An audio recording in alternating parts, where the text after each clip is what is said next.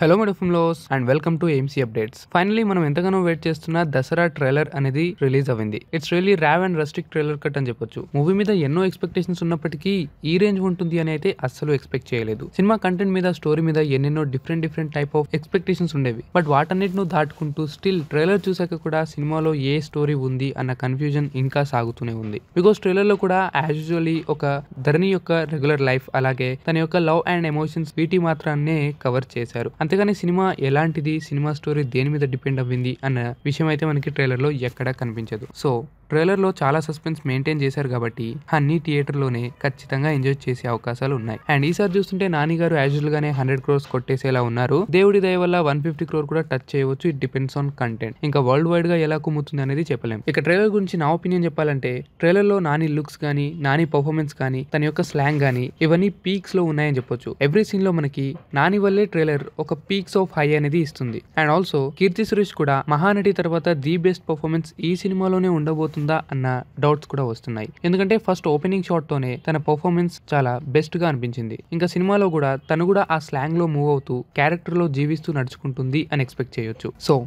Trailer అయితే నాకు చాలా బాగా నచ్చింది. మీకు ఎలా అనిపించింది అన్న విషయం కామెంట్లో తెలపండి. ఇక ట్రైలర్లో మనం అబ్జర్వ్ చేయాల్సిన విషయాలు ఏమైనా ఉన్నాయా? లేదా నాకు అనిపించింది ఏంటి? అనేది మాట్లాడుకుందాం. ట్రైలర్ బిగినింగ్లో మనకి హీరోయిన్తో కొన్ని సీన్స్ అనేవి చూపిస్తారు. సో ఈ సినిమా మీద చాలా మందికి ఇది ఒక high rustic movie coal mining గురించి వాటి గురించి ఇలా చూపిస్తూ ఉంటారు అని ఎక్స్పెక్ట్ చేశారు. బట్ సినిమాలో టర్నింగ్ పాయింట్ ఒక లవ్ స్టోరీ కూడా ఉంది. ఎందుకంటే ఈ సినిమా ఓపెనింగ్ టైంలోనే చాలా పెద్ద బజ్ వచ్చింది ఏంటంటే ఇది ఒక పల్లెటూరి లవ్ స్టోరీ అని. చెప్పినట్టుగానే ఇది ఒక పల్లెటూరి సినిమా అని తెలుస్తుంది కానీ లవ్ స్టోరీ మాత్రం అనిపించింది మొదట్లో. బట్ ఈ ట్రైలర్ చూసాక నిజంగా ఆ రూమర్ నిజమయ్యేలా కనిపిస్తుంది. అవును సినిమాకి వేరే పెద్ద కనెక్షన్ ఆఫ్ స్టోరీ లైన్ ఉండొచ్చు బట్ జస్ట్ ఒక లవ్ అనే పదంతో చాలా టర్నింగ్ పాయింట్స్ అనేవి సినిమాలో మనం ఎక్స్పెక్ట్ చేయొచ్చు. ట్రైలర్ ఎండింగ్ షాట్లో అంటే పది తలలు ఉన్నా సరే వాడిని ఒక్క తల ఉన్నవాడే చంపేశాడు అనే ఎక్సలెంట్ డైలాగ్తో మూవ్ అవుతుంది which is the reference of Dasara festival so సినిమాకి దసరా అనే టైటిల్ ఎందుకు పెట్టారు అనే దానికి కూడా మనకి పర్ఫెక్ట్ ఎగ్జాంపుల్ ట్రైలర్లోనే ఆన్సర్ ఇచ్చారు. ట్రైలర్ ఎండింగ్లో మనకి ధరణి ఇంకా కీర్తి సురేష్ యొక్క చిన్నప్పటి సీన్స్ అనే అనుకుంటున్నాను ఇవైతే నేను. బట్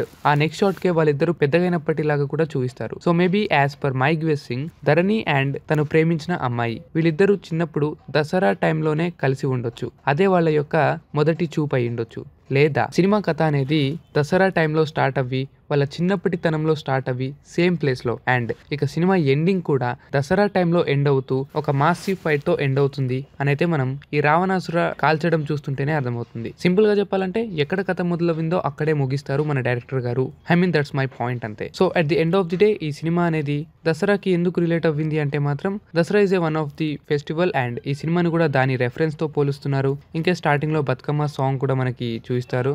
సో ఐ థింక్ దసరాకి ముందు యాజ్ యూజువల్గా బతుకమ్మ పండుగ ముందు వస్తుంది కదా. సో దాని పరంగా మూవ్ అవుతూ ఆ ఫెస్టివల్ని సెలబ్రేట్ చేస్తూ నెక్స్ట్ దసరా అంటూ మనకి సినిమా ట్రైలర్ కట్ విధానం ఫాలో అయ్యారు. అండ్ చూస్తుంటే నాని అండ్ తన ఫ్రెండ్స్ చాలా ప్రాణంతో కలిసి ఉంటారు అని అర్థమవుతుంది. బట్ సినిమాలో మాత్రం తన ఫ్రెండ్స్లో ముఖ్యమైన వ్యక్తి ఎవరో ఒకరు చనిపోవడం మాత్రం ఖాయం అనిపిస్తుంది. ఈ సీన్ చూస్తుంటే ఇక్కడ నాని తన ఫ్రెండ్ని కోల్పోతాడేమో. కోల్పోయిన అక్కడే విలన్స్ చాలా మంది ఉన్నప్పటికీ అక్కడ ఉన్న ఇల్లునే తగలెడతాడు కావచ్చు. సో మేబీ ఇది ఇంటర్వెల్ ఆర్ సంథింగ్ మనకు ఓపెనింగ్ షాట్లోనే నాని ఒక ట్రైన్ ఫైట్ అయితే కనిపిస్తుంది. లభిస్తుంది నాని ఒక ట్రైన్ సీన్ అయితే కనిపిస్తుంది. సో మేబీ ఇది ఎంట్రీ సీన్ అయి ఉండొచ్చు ఆర్ వేరే అదర్ సీన్ అయినా చూడాలి. ఇంకా ఒక సీన్లో చూసుకున్నట్లయితే నాని వేరే వాళ్ళతో ఫైట్ చేస్తూ ఉంటారు. లైక్ పోలీస్ అండ్ వెనకాల ఏదో సంథింగ్ ఫంక్షన్ ఆర్ సెలబ్రేషన్ జరుగుతున్నట్టు మనకు అర్థమవుతుంది. సో మేబీ నాని తాగుడు అలవాటుతో ఆ టైంలో ఎవరినైనా కొట్టొచ్చు అన్నది ట్రైలర్ డైలాగ్స్లో మనం అర్థం చేసుకోవచ్చు. దాని ప్రకారమే మనకి నాని ఈ పోలీస్ స్టేషన్లో కూడా ఉన్నాడు అని తెలుస్తుంది. సో జనరలీ నేనైతే scene by scene break down చేయను బట్ సింపుల్గా చెప్పాలంటే it's a blockbuster movie. ఏ మాత్రం డౌట్ లేకుండా